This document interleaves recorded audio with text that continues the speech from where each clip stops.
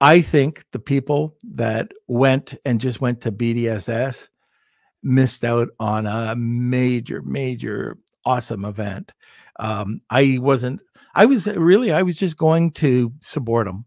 Uh, Kevin's a good friend of mine, and I thought, ah, you know, I'm going to go. I'll bring Kels. Uh, let's go and just support him. And it was so different, so good. Like if I go to a lot of events, a lot of the times I'll pull back and I'll do some work. Then I'll, um, you know, kind of, I hate saying it, but I'll cherry pick uh, which speaker I'll go and listen to. But I got work to do. So it's not like I got a lot of time that I could just go and, and spend all, you know, all day. I did a bit of that over at BDSS.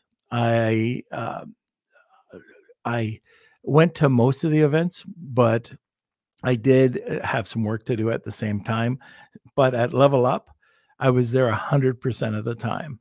Um, was not going to move